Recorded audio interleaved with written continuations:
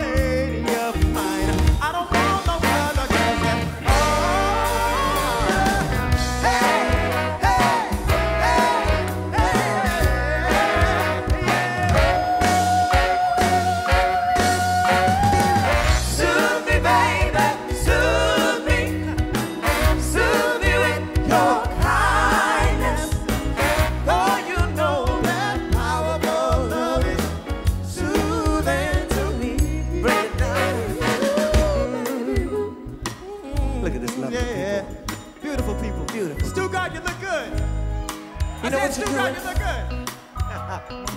You know what you're doing when you look like that and clap like that. Everybody just clap your hands. You soothe Like us. this. Your hands. Oh, yeah. You soothe me. Oh, yeah.